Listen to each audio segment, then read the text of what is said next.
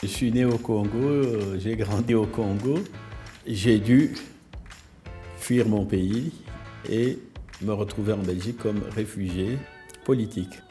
Dès que mon dernier a eu la liberté de conduire tout seul pour aller à ses entraînements, je me suis remis à ce que j'aimais tant, ce pourquoi je suis arrivé ici, la politique.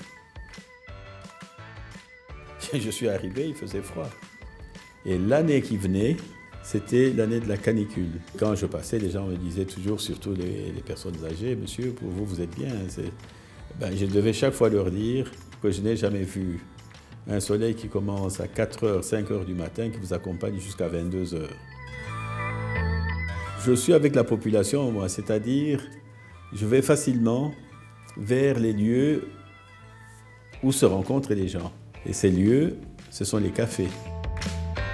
Ben, le hachis parmentier, hein, ça c'est la maman de mes enfants qui, m'a fait aimer ça.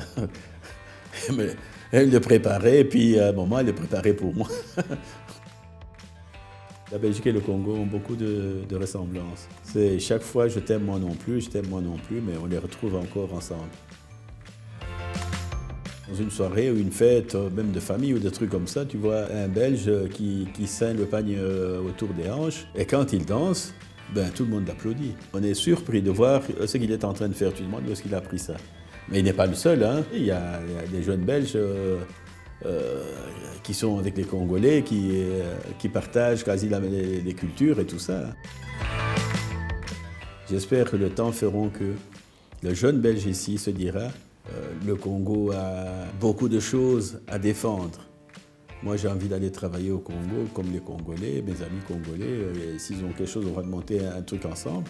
Mais jamais penser que vous allez euh, instruire les Congolais. Non, non, non, non.